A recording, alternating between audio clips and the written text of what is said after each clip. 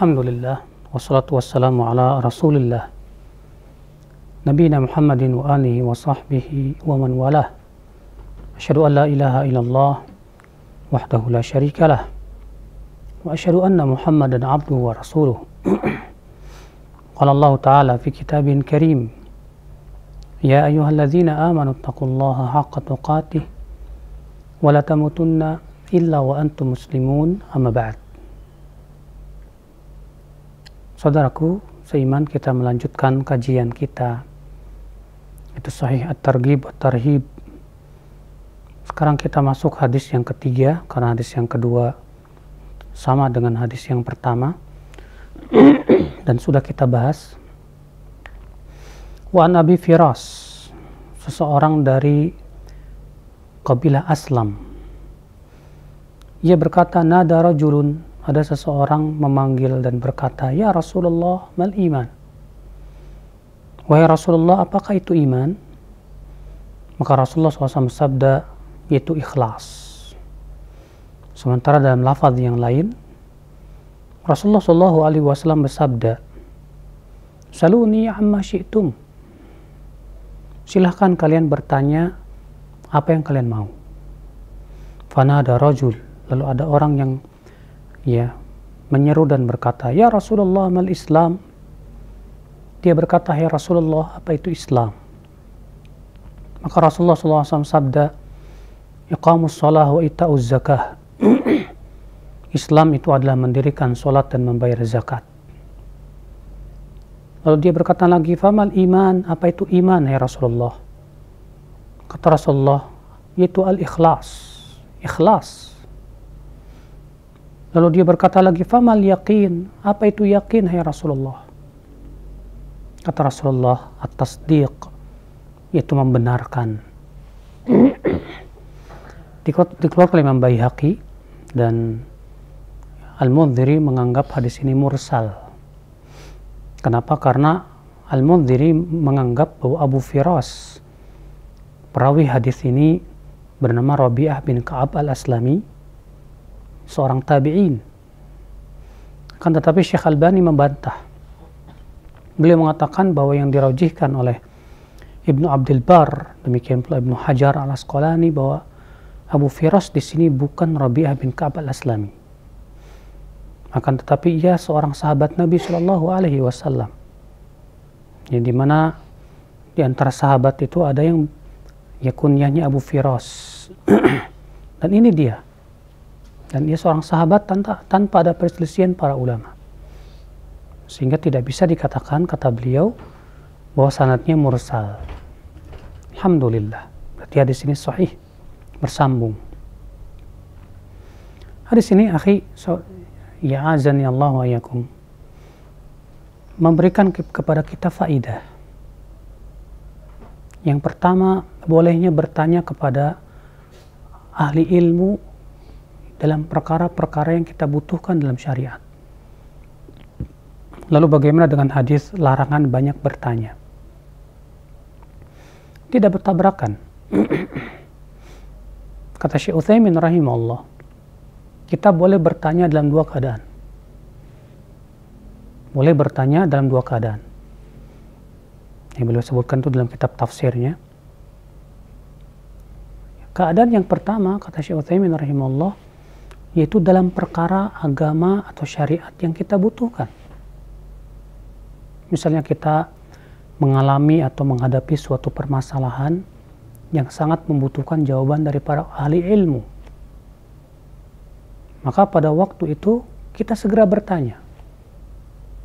Diperbolehkan. Keadaan yang kedua kata Syekh Utsaimin boleh kita bertanya kapan? yaitu ketika kita berusaha ingin memahami suatu pelajaran yang sedang kita pelajari. Misal kita sedang belajar ilmu waris, tapi ternyata kita banyak tidak fahamnya. Untuk bisa memahaminya, tiada lain adalah dengan cara bertanya kepada guru. Maka saat itu boleh-boleh, kata Syekh Uthaymin. Kenapa? Karena ini maslahat besar. Adapun selain ini, ya, kita tidak ada kebutuhan, kita mikir-mikir mikir-mikir nanya apa ya, nanya apa ya. Maka yang seperti ini tidak boleh. Kenapa?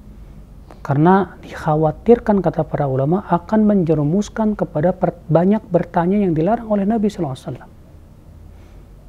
Makanya dahulu para sahabat ya mereka dilarang oleh Nabi SAW untuk banyak bertanya. Dahulu para sahabat ya merasa suka kalau ada orang Arab Badu yang datang untuk bertanya. Oleh karena itulah saudaraku, jangan biasakan kita banyak bertanya. Kalau kita tidak ada kebutuhan yang perlu ditanyakan, tidak perlu kita mikir-mikir nanya apa, nanya apa, nanya apa, tidak perlu. Iya. Atau dalam keadaan kita sedang mempelajari suatu pelajaran, kemudian kita ada pelajaran yang disampaikan ustadz tersebut kita belum paham, boleh bertanya, boleh seperti itu. Faedah yang kedua dari hadis ini, saudaraku, Rasulullah SAW menafsirkan Islam di sini dengan mendirikan sholat dan membayar zakat. Ya. Padahal kan rukun Islam ada ada lima. Tapi kenapa Rasulullah SAW menafsirkan Islam di sini dengan mendirikan sholat dan membayar zakat saja? Karena dalam hadis ini Rasulullah tidak sedang menjelaskan rukun Islam. Tapi dalam dalam beliau ya dalam hadis ini sedang menjelaskan apa itu Islam. Karena orang ini bertanya apa itu Islam ya Rasulullah. Maka Rasulullah menjawab dengan amalan-amalan yang sifatnya lahiriah. Amalan yang terlihat. Apa itu? Mendirikan sholat, membayar zakat. Mendirikan sholat, membayar zakat itu amalan yang sifatnya lahiriah. Oleh karena itu, kata Syekhul Islam dalam kitab beliau Al-Iman, kitab yang sangat agung sekali, bahwa Islam identik dengan amalan-amalan yang sifatnya lahiriah. Sedangkan iman identik dengan amalan-amalan yang sifatnya batin. Makanya Rasulullah SAW menafsirkan iman di sini apa? Ikhlas. Dalam hadis yang lain Rasulullah menyebutkan iman dengan rukun iman iman kepada Allah, malaikatnya, kitab-kitabnya, hari akhirat, beriman kepada tak apa namanya kodok dan kodar. Itu semua saudaraku adalah merupakan perbuatan-perbuatan batin. Berarti Islam ya identik dengan perbuatan yang sifatnya lahir. Iman itu identik dengan perbuatan yang sifatnya batin. Oleh karena itulah iman lebih tinggi daripada Islam. Setiap mukmin pasti muslim, tapi tidak setiap muslim dia mukmin.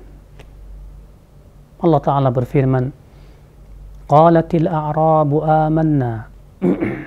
berkata orang-orang orang-orang berkata orang Arab Baduy itu, "Amanna, kami beriman." Qul, katakan, "Lam tu'minu." Kalian belum beriman Walakin qulu aslamna. Akan tetapi katakan kami Islam. Di sini Allah membedakan antara iman dan Islam. Saudaraku sekalian, akal Islam. Ya.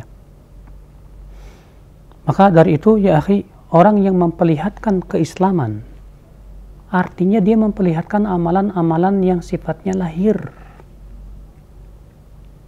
maka siapa pun yang memperlihatkan keislaman dia, kita hukumi dia sebagai seorang muslim. Itu dia mengucapkan dua kalimat syahadat, dia sholat, dia zakat, dia puasa, dia haji ke Baitullah. Kita katakan dia muslim. Tapi apakah kita bisa berani untuk memastikan dia seorang mukmin? Belum bisa. Sampai kita lihat, ya, apakah dia masih apa namanya masih melakukan dosa-dosa besar atau tidak.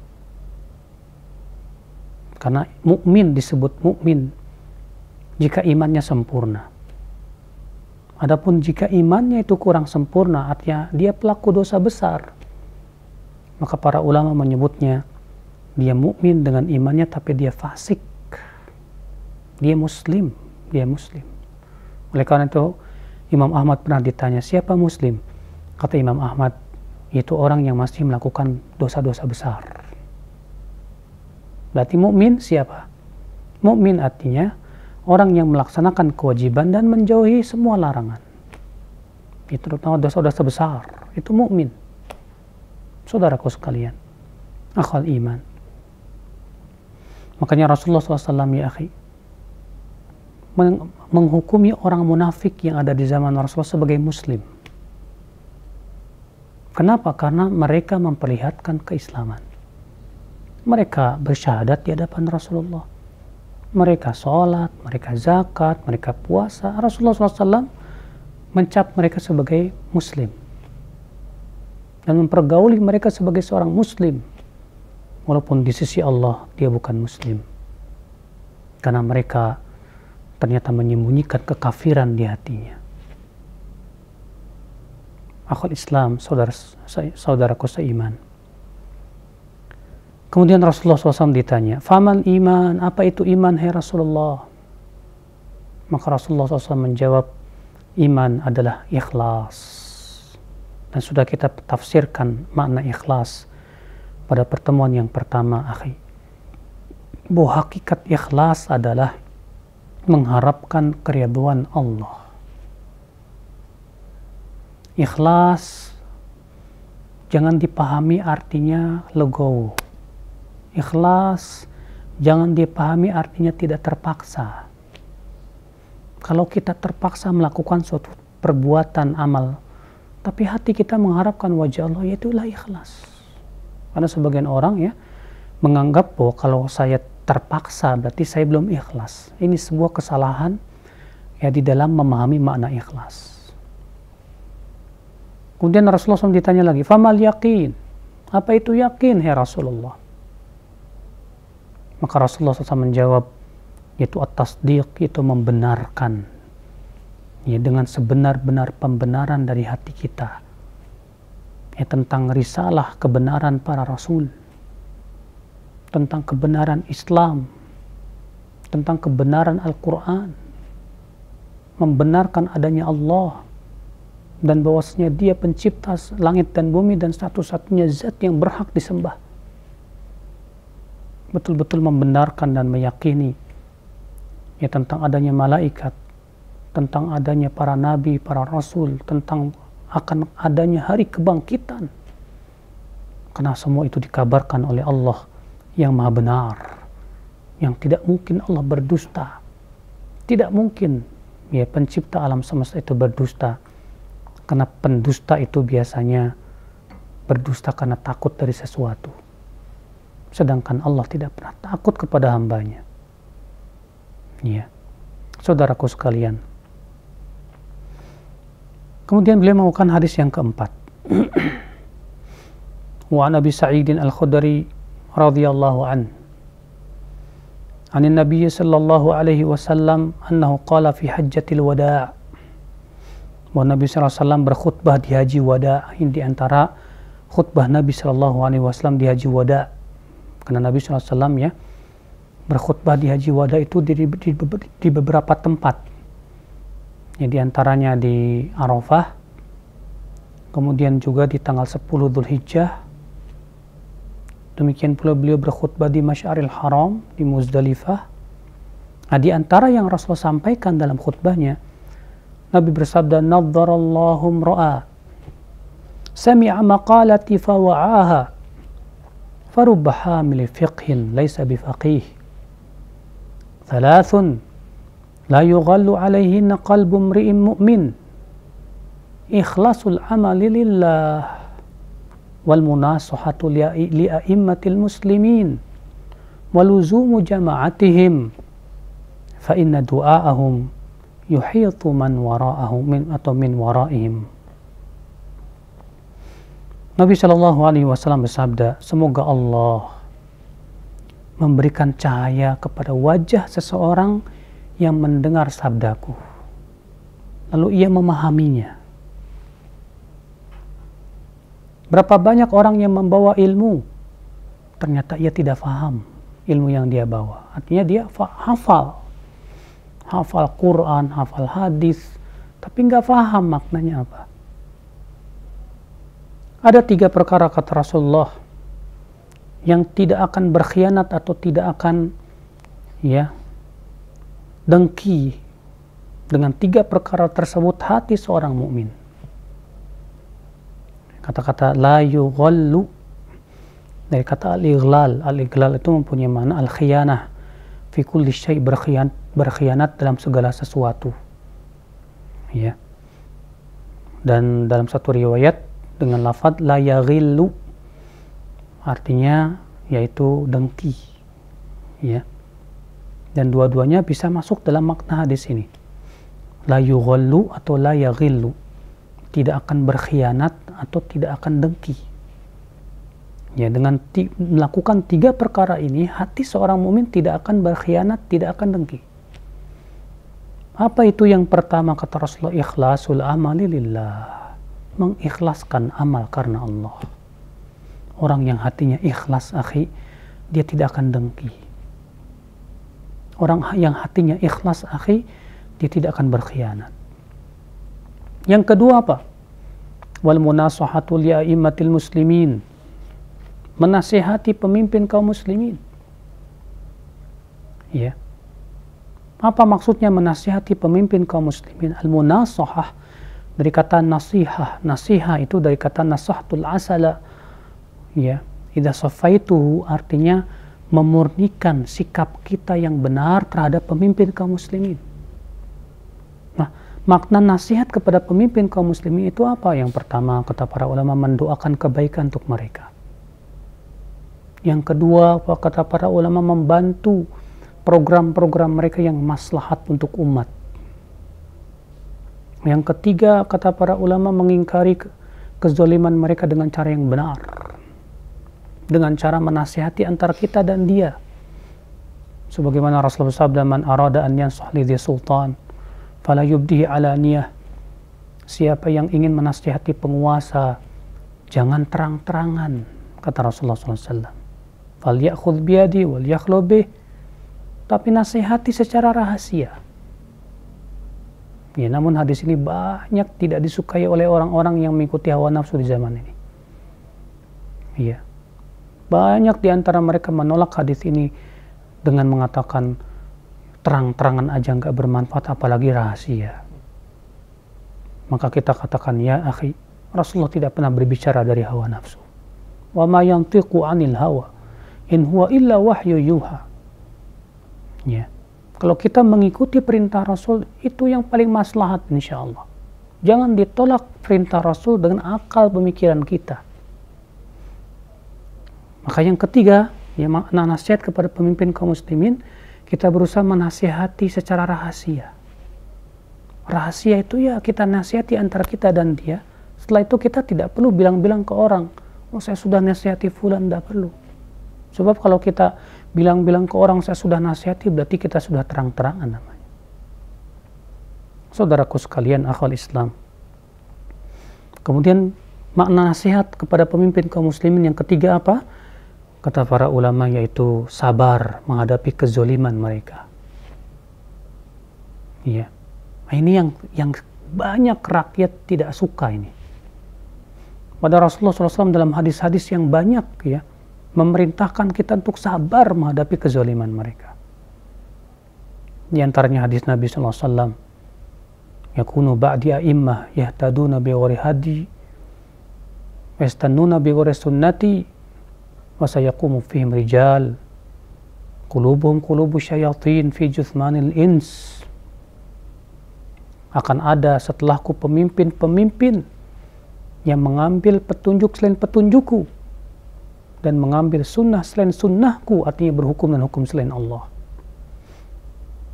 dan akan ada pada mereka kata Rasulullah orang-orang yang hatinya pemimpin-pemimpin yang hatinya hati setan di dalam badan manusia. Saking jahatnya itu pemimpin. Ketika ditanya oleh seorang sahabat yang bernama Hudzaifah, apa yang harus kami lakukan ya Rasulullah terhadap pemimpin seperti itu?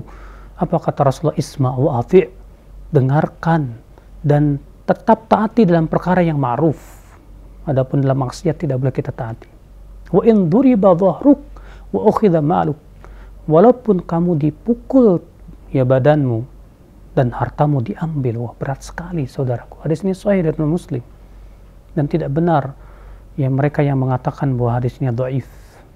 ya karena mereka berusaha mendoifkan karena tidak sesuai dengan selera dan hawa nafsu ya hadis tersebut ada dalam Sahih Muslim. Demikian pula dalam hadis-hadis yang lainnya. Rasulullah menyuruh kita sabar menghadapi pemimpin yang zalim. Ini termasuk nasihat kepada pemimpin. Maka Syekhul Islam mengatakan apa? Imamun dolum fit khairum min fitnatin tadum.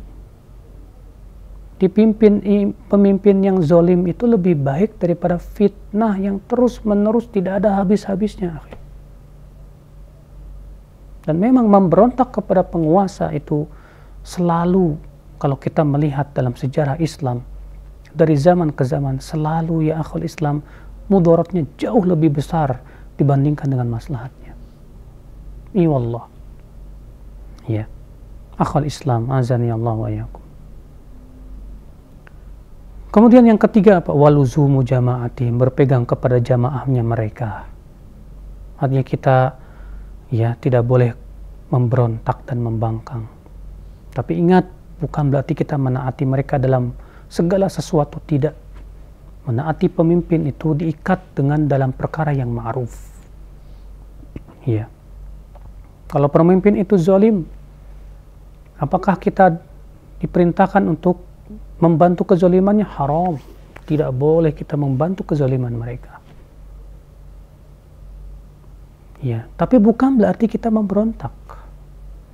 Bukan berarti kita memberontak saudara-saudaraku sekalian. Ya, kewajiban kita hanya sebatas membenci dengan hati kalau ternyata pemimpin itu zalim. Tapi kita sabar menghadapi kezaliman mereka dan kita doakan mudah-mudahan mereka dapat hidayah. Karena itu yang diperintahkan oleh para ulama ul Islam Sampai-sampai Fudail bin Iyad berkata, kalau aku punya doa yang mustajab, yang diijabah oleh Allah, aku akan doakan penguasa dengannya. Subhanallah. Tapi akhul Islam. Di sini Nabi SAW dalam hadis ini di haji wada beliau bersub ya apa berkhutbah. Khutbah yang pertama dalam hadis ini beliau mendoakan orang yang mendengarkan sabda Rasulullah itu mendengarkan hadis-hadis Rasulullah. Berarti akhi, hadis ini menunjukkan ya kita sangat dianjurkan sekali untuk mempelajari hadis. Supaya kita bisa mendapatkan doa Rasulullah ini. Nadharallahu ra'a sami'a maqalati. Semoga Allah Subhanahu wa taala memberikan cahaya kepada wajah orang yang mendengarkan sabdaku. Fawa'aha lalu ia memahaminya. Subhanallah. Kalau kita ingin mendapatkan doa Rasul ini, berarti kita berusaha untuk bagaimana kita semangat dalam belajar hadis. Ya akhi, orang yang paling paham hadis, dia paling paham Al-Quranul Karim. Umar bin Khattab berkata, ya, sayati alaikum qaumun yujadilunakum bisyubuhatil Qur'an. Fajadiluhum bis sunan. Fa inna fa inna ahla sunan a'lam bi kitabillah. Nanti akan datang suatu kaum yang akan mendebat kalian dengan ayat-ayat mutasyabihat dalam Al-Quran. Maka lawan mereka, bantah mereka dengan sunnah karena sesungguhnya orang yang paling tahu tentang sunnah, dia yang paling tahu tentang kitabullah azza wa jal. Ya Allah. Saudara-saudaraku sekalian, akhwat Islam. Maka di sini Nabi SAW memberikan motivasi kita. Motivasi, akhi, supaya kita semangat belajar hadis. Ya. Berapa banyak hadis yang belum kita pelajari, akhi hadis-hadis Nabi itu ratusan ribu ya akhi. Itu ada dalam Sahih Bukhari, Sahih Muslim, Abu Dawud, Tirmidzi, Nasai, Ibnu Majah, belum lagi Musnad Imam Ahmad, belum lagi Mu'jam Tabrani dengan ya, tiga Mu'jam Tabrani demikian pula ada Rakutni demikian pula Musannafnya Ibnu Abi Syaibah ya Abdul Razak dan yang lainnya. Banyak sekali. Berapa banyak kitab yang sudah kita pelajari? Qadar Allah di zaman ini subhanallah. Ya kita malas belajar hadis Nabi Shallallahu Alaihi Wasallam. Kenapa? Karena kita disibukkan oleh media sosial. Kita sibuk dengan Facebook, kita sibuk dengan WhatsAppan, sibuk dengan ya, la haula wala quwata illa billah.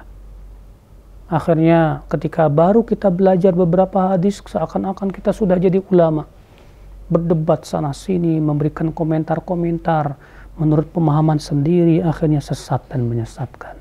Fa'allahul musta'an ya akhul Islam. Maka ya akhi, pelajarilah hadis Nabi SAW. Pelajari Sahih Bukhari, pelajari Sahih Muslim, pelajari Kutubus Sittah. Berusaha untuk pahami, pahami, hadis per hadis kita pahami. Dengan merujuk syarah para para ulama dalam kitab-kitab mereka. Ya, supaya kita tidak tersesat jalan saudaraku sekalian. Maka Rasulullah SAW memberikan targib di sini. Nadharallahu mra'a. Semoga Allah memberikan cahaya. Memberikan nudrah. Nudrah itu cahaya di wajah. Ya. Kepada siapa? Kepada seseorang yang mendengarkan sabdaku. Dalam satu lafaz lain, sami'a maqalati fawa'aha wa hafidhaha wa addaha kama sami'a lalu lalu semoga, Allah memberikan cahaya di wajah orang yang mendengarkan sabdaku lalu ia berusaha memahaminya. Lalu ia berusaha menghafalnya. Lalu ia menyampaikan seperti yang ia dengar. Masya Allah. Di sini akal Islam Rasulullah SAW memberikan kepada kita manhaj dalam menuntut ilmu. Apa itu? Kata Rasulullah SAW, semoga Allah memberikan wajah eh, cahaya di wajah orang yang mendengar sabdaku. Berarti ya, ilmu itu harus dari pintar mendengar dulu. Makanya kata Sufyan ats-Tsauri, awalul ilmi husnul insat thumma istima.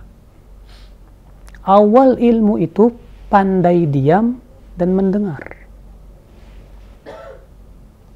Sementara kita, banyak di antara kita tidak pandai diam dan tidak pandai mendengar, tapi pandai berkomentar, pandai berbicara. Di zaman ini anak-anak kecil dilatih untuk pandai ceramah. Dibuatlah namanya ya pildacil, apa namanya ya dai-dai kecil Padahal subhanallah di zaman salafus saleh anak-anak kecil itu dilatih dulu untuk baca Quran, hafal Quran, menghafalkan hadis-hadis Nabi Shallallahu Alaihi Wasallam. Karena itu yang diperintahkan oleh Nabi Shallallahu Alaihi Wasallam. Sami'a kita harus men pandai mendengar dulu deh. Para penuntut ilmu pemula harus pandai mendengar daripada berbicara. Maka Nabi Shallallahu Alaihi Wasallam mengatakan apa? Yang, yang mendengarkan sabdaku kita dengar. Fawa'aha lalu ia memahaminya. Pahami betul. Hadis yang kita dengar tersebut kita pahami betul. Ya pertama kita paham, pahami apakah hadis ini sahih apa tidak. Kalau ini sudah sahih sudah kita pastikan kesahihannya. Lalu kita pahami betul makna-makna hadis tersebut. Kita dalami karena sabda Nabi Shallallahu Alaihi Wasallam itu jawami ul kalim ya akhi ucapannya pendek tapi maknanya dalam sekali. Pahami betul. Setelah kita pahami, usahakan kita bisa menguasai dengan cara menghafalnya. Makanya kalau dulu para ulama ya berlomba-lomba menghafal hadis. Setelah itu apa? Menyampaikan. Ya, jadi tahap penyampaian itu kapan? Setelah melalui beberapa tahap dulu mendengar, memahami, menghafal. Setelah di kita betul-betul melewati tiga tahap ini, baru kita sampaikan. Sementara kita langsung loncat kepada tahap menyampaikan. Padahal kita belum paham hadisnya. Padahal kita juga belum tahu hadisnya sahih apa dhaif. Langsung kita sampaikan. La haula wa la quwata illa billah. Akhirnya adanya yang ada adalah kerusakan ya akhir. Lalu Nabi bersabda, "Farubaha mili fiqhin laisa bifaqih." berapa banyak pembawa ilmu ternyata dia tidak fakih, tidak faham. Artinya dia hafal Quran, hafal. Ketika ditanya apa makna ayat ini, nggak tahu. Hafal hadis, hafal. Ketika ditanya apa makna hadis ini, nggak tahu. Nah, orang seperti ini, akhi, Rasul dalam hadis yang lain Rasulullah SAW mengumpamakan seperti apa? Ya, tanah yang hanya bisa menahan air. Tapi tanah itu sendiri tidak bisa mengambil manfaat dari air tersebut. Sebagai dalam hadis, "Mathalu ma ba'athani Allah minal huda wal ilm, kamathali ghaithin asabat ardan." Perumpamaan kata Rasulullah, apa yang Allah utus aku dengannya berupa ilmu dan hidayah seperti air hujan yang menimpa tanah. Fakanat minha ta'ifatan tayyibah qabilatil ma'a wa ambatatil kala wal ushbal kathir. Di antara tanah itu ada yang subur dan gembur kata Rasulullah. Dia bisa menerima air dengan baik. Dia pun kemudian menumbuhkan berbagai macam tanaman demikian pula terumputan yang banyak ya Wamina di antara tanah kata Rasulullah yang kedua apa? Amsakatilma. Dia bisa dia bisa menahan air banyak. Ya. Tapi dia tidak bisa mengambil manfaat dari air. Dan orang-orang bisa mengambil dari air yang ditahan tersebut untuk kebutuhan minum dan ya pengairan. Tapi eh, tanahnya tersebut tidak bisa mengambil air banyak, mengambil banyak manfaat dari air tersebut.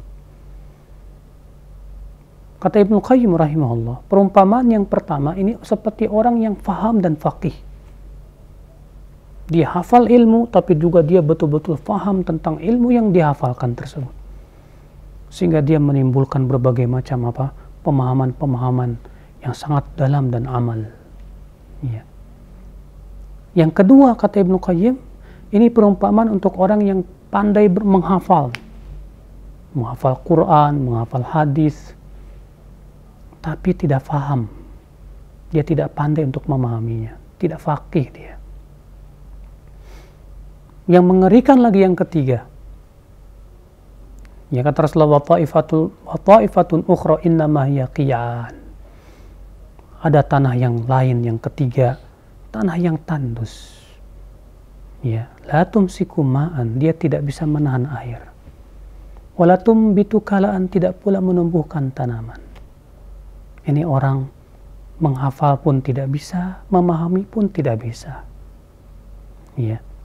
Na'udzubillah jangan sampai kita termasuk yang ketiga tentunya saudaraku sekalian. Kita berusaha untuk menjadi yang pertama. Kita berusaha untuk ya memahami ilmu, menghafalkan ilmu dan betul-betul kita fakih dalam ilmu yang kita pahami tersebut. Nah, saudaraku sekalian, akhwat Islam, maka dari itulah setiap kita sekali lagi semangatlah belajar hadis Nabi SAW. Demi Allah kata Imam Nawawi, ya ilmu hadis itu adalah ilmu yang di antara ilmu yang paling mulia. Karena hadislah yang menafsirkan Al-Quran dan tidak sebaliknya. Allah berfirman, wa anzalna ilaika dzikra litubayyana linnas ma nuzila ilaihim. Dan kami telah turunkan kepada engkau hai Muhammad az-zikr yaitu Al-Qur'an. Litubayyina linnas agar kamu hai Muhammad menjelaskan kepada manusia manuzila ilaihim apa yang diturunkan kepada mereka tersebut berarti fungsi Rasul salawatullahi alaihi wasallam sebagai penjelas terhadap Al-Quran namun subhanallah ternyata Rasulullah mengabarkan dalam hadis riwayat Tirmidzi akan munculnya suatu kaum yang disebut dengan ingkarus sunnah yang mengingkari sunnah Nabi SAW. Iya. Rasulullah SAW mengabarkan akan munculnya orang-orang yang menolak sunnah Nabi SAW, menolak hadis-hadis Nabi SAW, dan ternyata yang Rasulullah kabarkan benar. Kita lihat di zaman ini, saudaraku. Iya. Adanya orang-orang yang tidak percaya kepada hadis. Padahal ayat-ayat hukum sifatnya global. Di dalam Al-Quran tidak ada penjelasan bagaimana tata cara sholat dari awal sampai akhir. Adanya di mana? Dalam hadis. Dalam Al-Quran tidak ada perincian secara detail tentang zakat. Adanya di mana? Dalam hadis. Dalam Al-Quran pun juga tidak ada perincian secara detail tentang hukum-hukum syariat. Allah menurunkan ayat-ayat ahkam itu secara apa? Ya, secara global. Penjelasan yang lebih detail di mana? Di dalam hadis. Maka orang yang menolak hadis hakikatnya akhi menolak Al-Qur'anul Karim. Karena Allah yang memerintahkan ya untuk kita mengikuti Rasulullah sallallahu alaihi wasallam. Ada seorang wanita berkata kepada Abdullah bin Mas'ud, "Wahai Ibnu Mas'ud, wahai Abu Abdurrahman, sampai kepadaku bahwa engkau melaknat wanita yang bertato dan yang minta ditato." sampai kepadaku bahwa engkau melaknat wanita yang minta disambung rambutnya dan yang menyambung rambutnya. Wah ini qara'atul Quran, aku sudah hafal Quran. Ternyata aku tidak ada dap dap dapatkan ayatnya. Apa kata Abdullah bin Mas'ud? In kunti qara'tihi faqad wajadti. Kalau kamu memang hafal, harusnya kamu dapat dong ayatnya. Yang mana itu kata wanita tersebut? Lalu Abdullah bin Mas'ud berkata, itu firman Allah. Wa ma rasul fakhuduh wa anhu fantahu. Apa-apa yang diperintahkan oleh Rasul, yang dibawa oleh Rasul, maka ambil. Sementara Rasulullah SAW kata Mas'ud telah melaknat wanita yang bertato dan yang minta ditato, wanita yang menyambung rambut dan yang minta disambung rambutnya Bagaimana aku tidak melaknat orang yang dilaknat oleh Rasulullah SAW? Iya. Subhanallah. Saudara-saudaraku sekalian, akal Islam. Maka dari itulah, ya akhi, ya penting sekali kita belajar hadis Nabi Shallallahu Alaihi Wasallam. Karena semakin kita mempelajari hadis, kita akan semakin memahami Al-Quran. Naam. Ya. Kemudian Rasulullah mengatakan ada tiga perkara yang hati seorang mukmin tidak akan berkhianat, tidak akan dengki. Sudah kita sebutkan tadi yang pertama mengikhlaskan amal karena Allah. Orang yang hatinya ikhlas tidak akan dengki. Orang yang dengki kepada orang lain tuh hakikatnya orang dia tidak ikhlas menerima ya, tidak ikhlas menerima ketentuan Allah kepada dia. Dia dengki tapi orang yang ikhlas orang yang dalam beramal soleh berikhlas dalam bekerja dia berusaha untuk ikhlas mengharapkan wajah Allah tidak akan berkhianat maka kalau ada para pengkhianat dan orang-orang yang berkhianat itu karena mereka telah kehilangan keikhlasan ya saudara-saudaraku sekalian semoga kita termasuk ya orang-orang yang senantiasa mengikhlaskan amal karena Allah senantiasa kita berusaha mohon kepada Allah agar kita termasuk orang-orang yang dijadikan hatinya hati yang ikhlas, hati yang bebas dari khianat, hati yang bebas daripada kedengkian. Wallahu alam. Wabillahi taufik. Ya, kita buka tanya jawab. Nah.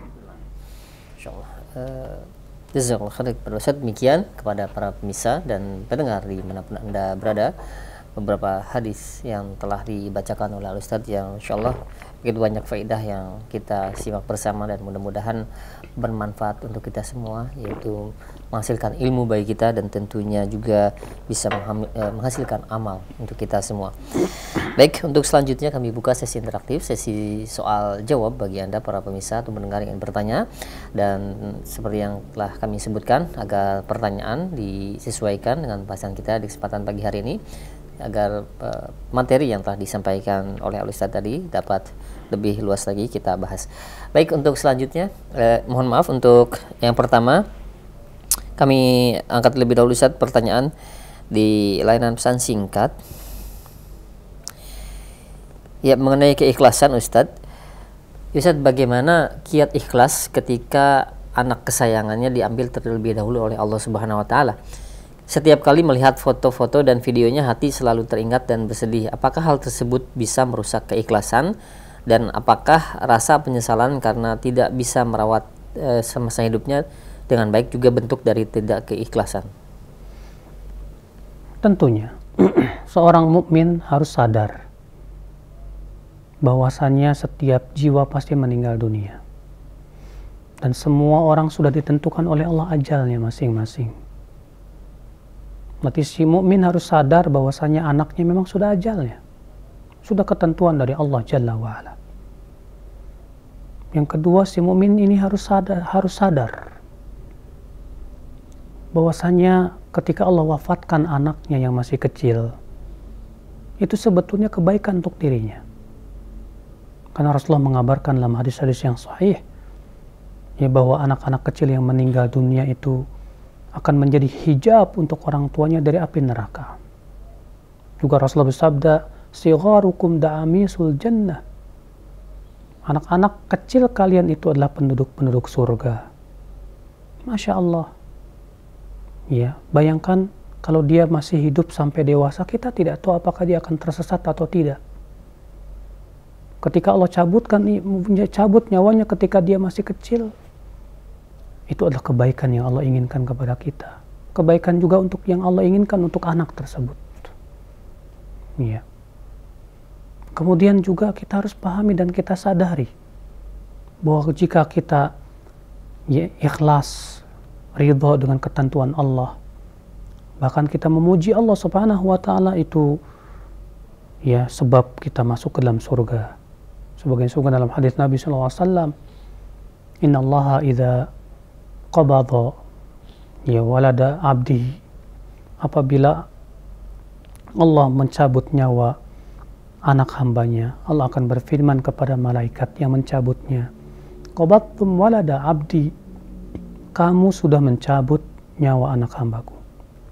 Para sahabat para malaikat berkata benar qabattun samrata fuadi kamu sudah mencabut buah hatinya kata para malaikat benar ya, ya Allah apa kata Allah Subhanahu wa taala? "Famadza qala 'abdi?" Apa yang diucapkan oleh hambaku ketika anaknya meninggal dunia? Apa kata para malaikat itu? Hamidaka wastarja. Dia memujimu ya Allah dan mengucapkan innalillah wa inna ilaihi raji'un. Apa kata Allah? Ibnu lahu baitan fil jannah. Bangunkan untuk dia sebuah rumah di surga. Wasammu baital hamdi dan sebutlah nama rumah itu sebagai rumah pujian. Banyak sekali subhanallah. Ya, maslahat dan manfaat yang Allah berikan kepada orang yang meninggal anak yang kecil tersebut. Maka tidak perlu kita kembali mengenang-enang dia dengan melihat foto-fotonya. Hanguskan semuanya. Agar menghilangkan kesedihan hati kita karena sedih itu tidak ada manfaatnya. Sedih itu terkadang hanya akan menimbulkan godaan setan di hati kita lupakan, doakan. Berharaplah pahala dari Allah Subhanahu wa taala agar Allah Subhanahu wa taala memberikan kepada kita keriduan terhadap ketentuan yang Allah berikan. Allahu a'lam. Nah. Ya, nah baik, syukuran jazil atas jawaban Ustaz eh, sangat bermanfaat sekali dan selanjutnya yang kedua ada pertanyaan kembali Ustaz. Ya Ustaz, bagaimana jika memiliki seorang anak yang memiliki potensi dalam hafalan. Sering diikutkan dalam perlombaan sehingga menjadikan cukup dikenal oleh banyak orang. Apakah itu bagus baginya? Sekali lagi saudaraku, bila kita punya anak, usahakanlah kita didik dengan benar-benar. Bagaimana caranya supaya anak kita hafal Quran, hafal hadis dan latihlah keikhlasan si anak tersebut. Ya, terkadang orang tua ketika melihatnya sudah hafal Al-Quran, ya kita ingin anaknya itu jadi tenar, karena dia bisa hafal Quran, bisa hafal hadis Nabi Shallallahu Alaihi Wasallam. La wallah. Ya, sungguh demi Allah saya ketika pergi ke daerah Bandung sana di sebuah kawasan santri. Seorang ibu punya anak yang sangat luar biasa. dihafal Quran bukan hanya hafal satu kiroat, sepuluh kiroat. Dan usianya masih sangat kecil. Iya. Ketika ada kawannya berkata, ibu kenapa tidak ikut perlombaan? Apa kata ibunya? Saya tidak ingin anak saya terkenal terlebih dahulu. Biarkan dia menuntut ilmu. Biarkan dia matang dengan keilmuannya. Iya, seorang ibu yang bijak seorang ibu yang paham tentang keadaan salafus saleh. Ya. Adapun di zaman sekarang ya sedikit-sedikit dibanggakan anaknya dan yang lainnya. Jangan-jangan. Karena kalau sudah tenar itu susah menjaga hati saudaraku. Latihlah anak kita ikhlas. Adapun kalau si anak ikut perlombaan, perlombaan, perlombaan, bukannya saya mengatakan ikut perlombaan tidak boleh, silahkan kalau memang itu tujuan untuk memotivasi si anak silahkan. Tapi kita berusaha supaya menjaga keikhlasan si anak. Kita berusaha supaya bagaimana si anak ini ya seperti salafus saleh.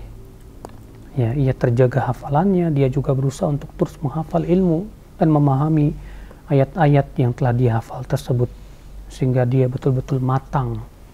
Ya ketika dia sudah matang keilmuannya, sudah kokoh keilmuannya, barulah ia baru berbicara tentang dinul Islam menjadi dai menjadi ulama yang benar-benar ulama yang hakiki yang membela sunnah Rasulullah Sallallahu Alaihi Wasallam. Wallahu a'lam. Nah. Nah, baik, syukuran jazakallahu atas jawaban dan nasihat Ustaz. Demikian untuk penanya dan selanjutnya yang ketiga masih kami ajukan di layanan pesan singkat. Ustaz ada pertanyaan. Ustaz di dalam peperangan perang Uhud bahwa Rasulullah SAW disebutkan e, beliau mengalami gigi patah dan bibirnya pecah. Namun saya baru membaca ada keterangan bahwa Rasulullah di situ e, berkata, aku men, e, aku mendengar apa yang tidak kalian dengar. Malaikat penjaga gunung berkata, kalau ada setetes darahku menyentuh bumi, maka Allah akan menurunkan azab dari langit kepada mereka yang memerangiku. Apakah tambahan atau bacaan uh, kata-kata tersebut sahih Ustaz? Tidak tahu. Ya. Nah, baik. Sekali uh, selanjutnya masih di layanan pesan singkat. Ya Ustaz, ada seorang Ustadz yang dikenal di atas sunnah, tapi kami sering mendengar ceramahnya itu ketika mentafsirkan Al-Quran jarang membawakan hadis. Terkesan disimpulkan oleh pendapatnya sendiri. Apakah boleh mengambil ilmu darinya? seorang ustadz yang menafsirkan kalau kita tahu dia memang manhajnya bagus akidahnya sahihah dan kita juga sudah bertanya kepada para ustadz-ustadz yang lain dan ustadz-ustadz yang lain juga merekomendasikan maka kita husnudon saja bahwa ya dia membawakan tafsir tersebut setelah dia membaca beberapa kitab ulama. Lalu dia simpulkan dari kitab-kitab para ulama tersebut. Ya. Walaupun tentunya seorang ustadz berusahalah semaksimal mungkin untuk mengajarkan ya muridnya secara ilmiah. Membawakan perkataan para ahli tafsir. Ya, ketika terjadi ikhtilaf para ulama tafsir, dia berijtihad untuk melihat mana yang paling kuat daripada pendapat-pendapat tersebut. Iya, namun terkadang seorang alim ketika dia melihat audiennya kalau dibawakan secara detail itu pastinya orang-orang awam akan cepat mengeluh, cepat bosan dan yang lainnya. Maka dia misalnya dia sampaikan setelah dia baca kitab-kitab para ulama kemudian dia sampaikan dengan bahasa yang ringan kesimpulan dari hasil daripada kitab-kitab para ulama tersebut. Silakan. Ya. Tidak mengapa. Kalau kita baca tafsir Syekh Utsaimin rahimahullah, kita akan dapati seperti itu. Ya, Allah a'lam. Nah. Iya, baik. Syukran jazakallahu atas seban dan nasihat Ustaz. Demikian dan selanjutnya kami angkat atau berikan kesempatan untuk Anda para pemirsa yang ingin bertanya di layanan telepon silahkan kami tunggu di Assalamualaikum Ustaz. Iya, dengan siapa Ibu? Dengan Ibu Ani di Balikpapan. Silahkan, langsung ke pertanyaan. Uh, gini Ustaz, saya mau tanya tentang ikhlas ya. Ya langsung ke pertanyaan Bu, silahkan. Uh, gini, jika seseorang melakukan ketaatan uh, karena takut akan ajak Allah dan mengharapkan surga, tapi dalam doa-doanya dia memohon kepada Allah untuk uh, dalam urusan dunia, misalnya menyelesaikan masalah. Setiap dia punya masalah itu selalu mengangkat tangan, ya Allah, tolonglah selesaikan masalah-masalah yang tentang kehidupan dunianya. Apakah itu termasuk masih ikhlas gitu? Ustaz. Itu aja makasih. Assalamualaikum warahmatullahi wabarakatuh. Waalaikumsalam. Doa meminta dunia boleh, Ibu. Tidak ada satupun ulama yang melarang kita berdoa meminta dunia. Karena doa itu memang isinya meminta. Namun yang tercela saat doa kita isinya 100% dunia. Yang tercela saat kita berdoa sama sekali tidak meminta akhirat. Makanya Abu Ja'far At-Tabari dalam tafsirnya ketika menafsirkan firman Allah Subhanahu wa taala man yaqulu rabbana atina fid dunya wa ma lahu fil akhirati min khalaq. Di antara mereka ada yang berkata, Wahai Rob kami, berikan kepada kami dunia. Sementara akhirat tidak ada nasib dari doanya. Kata Imam At-Tabari ini celaan buat orang-orang musyrikin. Mereka kalau selesai haji, berdoanya isinya hanya minta dunia saja. Tidak ada sama sekali minta akhirat. Lalu kemudian Allah memuji yang kedua, wa minhum may yaqul Rabbana atina fid dunya hasanah wa fil akhirati hasanah wa qina adzaban nar. Di antara mereka yaitu orang-orang yang beriman ada yang berkata, Wahai Rob kami, berikan kepada kami di dunia kebaikan dan di akhirat juga kebaikan dan peliharalah kami dari azab api neraka. Ini yang dipuji oleh Allah. Dan itu yang diamalkan oleh Rasulullah SAW. Ya kata sebagian sahabat Rasulullah sering sekali mengucapkan doa ini. Allahumma atina fid dunya hasanah wa fil akhirati hasanah wa qina adzabannar. Yang jelas Ibu, minta dunia boleh namun tercela kalau isi doa kita hanya dunia. Seperti yang banyak di antara kaum muslimin di zaman sekarang, isi doanya dari awal sampai akhir hanya minta dunia. Sangat tidak baik. Makanya doa-doa Nabi SAW menggabungkan antara kebaikan dunia dan akhirat. Lihatlah, Rasulullah setelah selesai sholat subuh, Rasulullah berdoa, Allahumma ini as'aluka ilman nafi'a, wa rizqan tayyiba, wa amalan mutaqabbala. Ya Allah aku mohon kepada engkau ilmu yang bermanfaat. Rezeki yang halal dan amal yang diterima. Lihat terkumpul padanya kebaikan dunia dan akhirat. Ya kalau kita perhatikan doa-doa pagi petang yang Nabi SAW lantunkan kepada Allah terkumpul padanya kebaikan dunia dan akhirat. Allahumma ini as'alukal afwa wal afiyah fid dunia wal akhirah. Ya Allah, aku mohon kepada Engkau maaf dan afiat di dunia dan akhirat. Allahumma inni as'aluka al-afwa wal afiyah fi dini wa dunyaya wa ahli wa mali. Ya Allah, aku mohon kepada Engkau maaf dan afiat ya dalam agamaku, dalam duniaku dan pada keluargaku dan hartaku. Subhanallah. Demikian Rasulullah berdoa mengumpulkan kebaikan dunia dan akhirat. Ya, Allah a'lam. Nah, nah.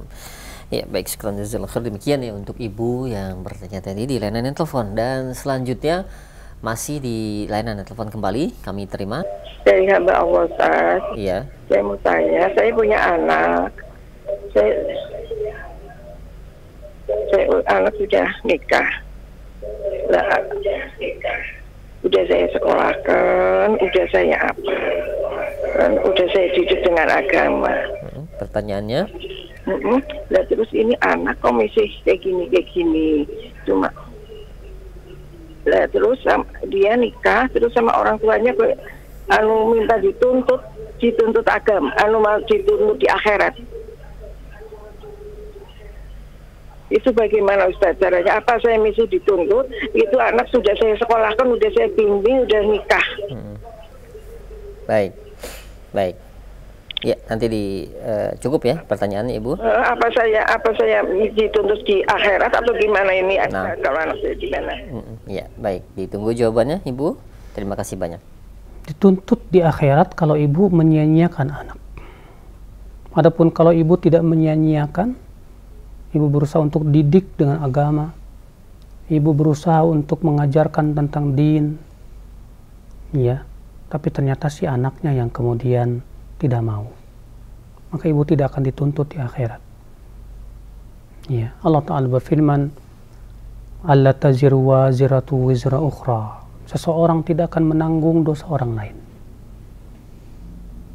nah dari itu ibu kalau ibu sudah berusaha semaksimal mungkin untuk mendidik anak. Sudah berusaha semaksimal mungkin bagaimana si anak ini mau kembali kepada Allah. Mau paham agama. Tapi kodarlah si anaknya yang memilih kesesatan misalnya, yang memilih yang lebih mengikuti hawa nafsu, maka ibu sudah berlepas tanggung jawab di hadapan Allah pada hari kiamat. Dan ibu akan berkata kepada Allah kalau memang ibu jujur yang dengan ucapannya tadi, ya bahwasannya aku sudah melakukan sesuai kemampuanku ya Allah. Tapi anak ini ternyata ya malah mengikuti hawa nafsunya. Fa Allah musta'an. Yang jelas ibu, ibu terus berusaha. Ya, bagaimana caranya ibu menyeret dia ke dalam surga Allah. Dengan doa ibu yang ikhlas. Karena doa orang tua itu diijabah. Dengan bimbingan ibu yang penuh kasih sayang.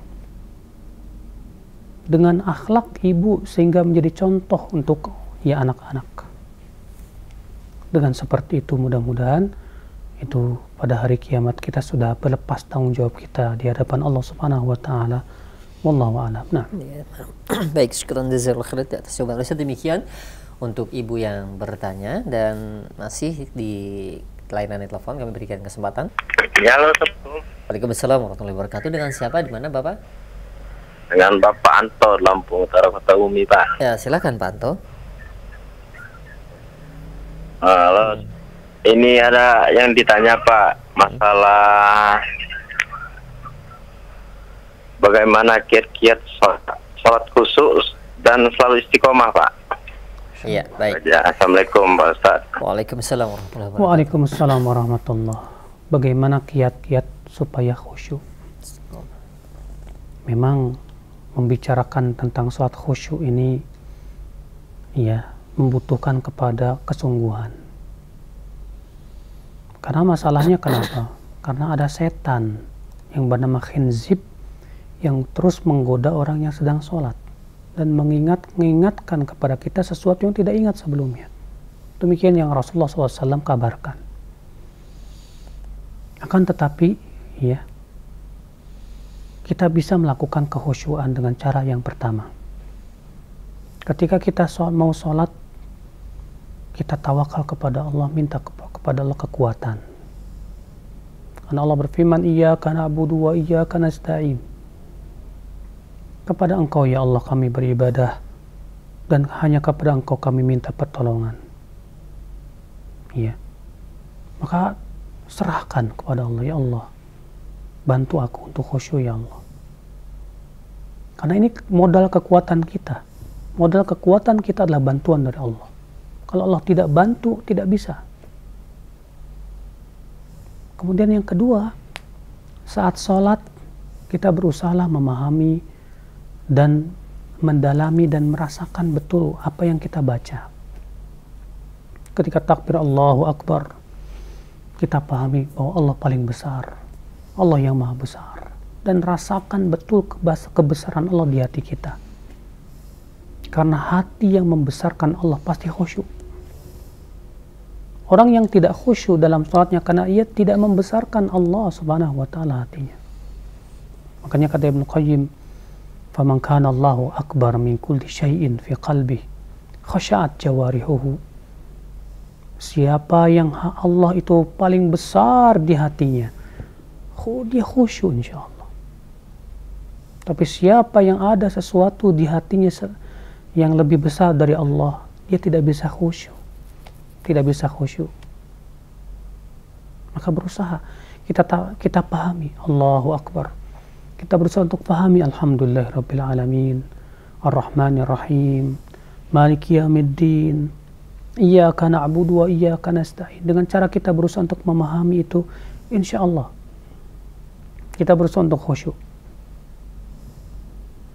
yang ketiga ada sebuah hadis yang dihasankan oleh Syekh Al-Bani rahimahullah yaitu Rasulullah SAW menganjurkan kita banyak ingat kematian dalam sholat kita.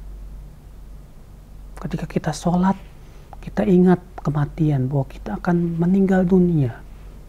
Bagaimana kalau saya setelah sholat saya meninggal?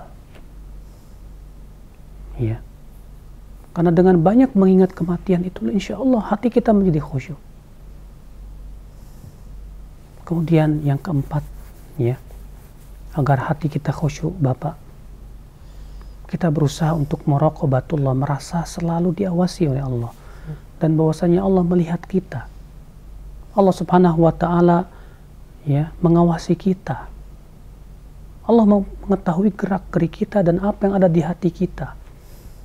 Allah berfirman ya'lamu kha'inatal a'yun wa ma tukhfis sudur.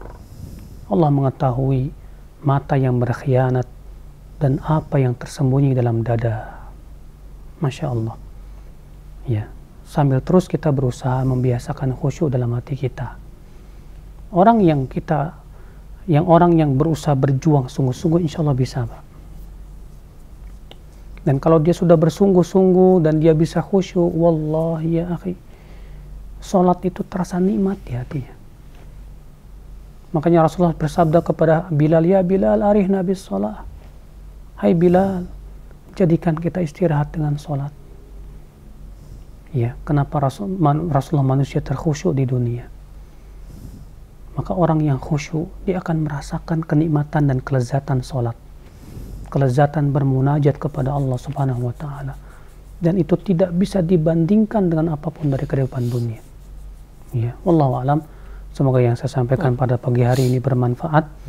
Wabillahi taufik subhanakallah bihamdik. Asyhadu an la ilaha illa anta astaghfiruka wa atubu ilaik. Wa ala nabiyyina muhammadin wa alihi wa sahbihi wasallam. Nah.